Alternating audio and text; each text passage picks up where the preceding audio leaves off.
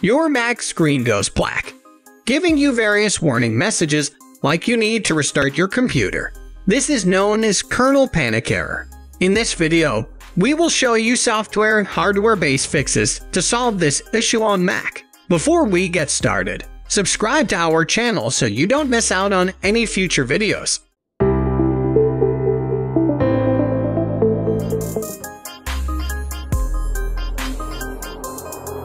Solution 1. Update all your software. Start by launching the App Store app through Spotlight or the Apple menu. Go to the App Store and click Updates to see the latest updates available for your Mac. If some tools have not been updated for long, it may well be the root of the kernel panic problem. If update is available, then update all apps. Solution 2. Ensure enough free space on the drive.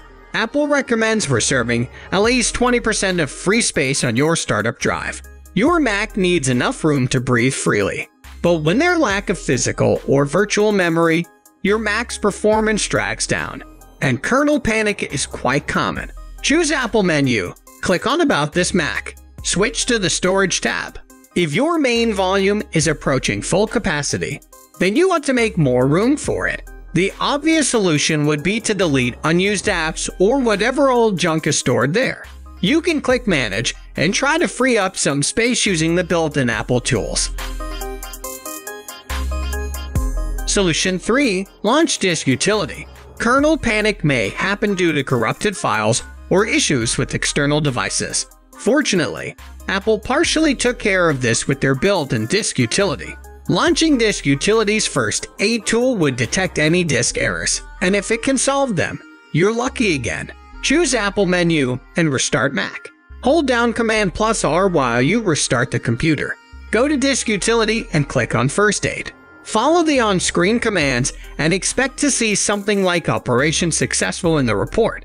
In the worst case scenario, you might get the underlying task reported failure, which suggests the disk repair failed. At this point, you should start thinking about saving your data and reformatting the drive. Solution 4. Disable startup items. There's a good chance login items are the reason your Mac randomly restarts. With dozens of apps launching on startup, they could be too many for your processor to handle. To troubleshoot kernel panic, now your tactics would be to disable these programs and check how your Mac behaves. To disable login items, follow this path. Go to System Preferences Choose Users and Groups. Select your username in the menu.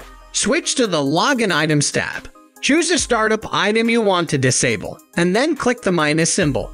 Restart your Mac to enable the changes. Solution 5. Reinstall macOS. Nothing of the above helped.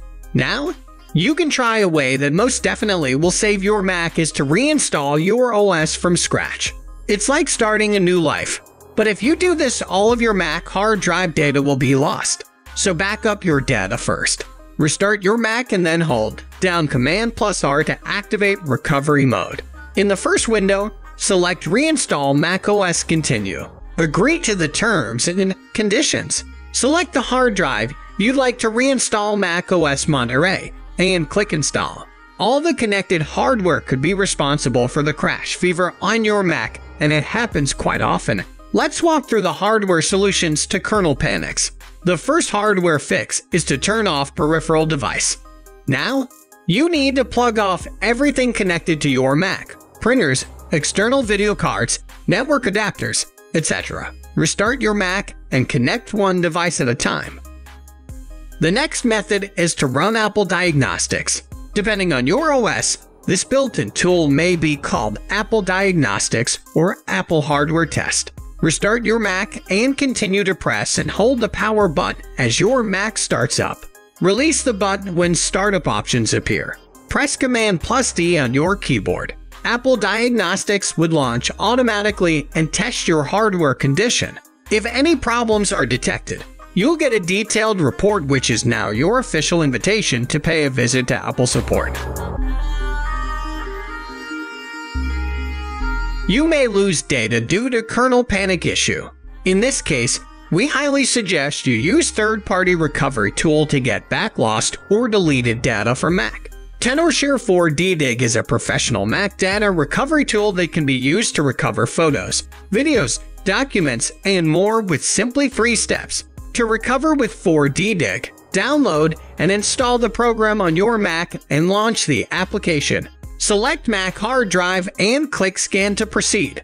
Now 4DDiG we'll start scanning Mac hard drive to find lost data. After the scanning, you can choose files to preview and then click Recover to save them to a different partition. Hopefully these methods can help you solve kernel panic warnings error in Mac OS. If you ever lost data due to kernel panic on Mac, just try Tenorshare 4DDiG. Subscribe to our channel if you want more useful tips. See you next time.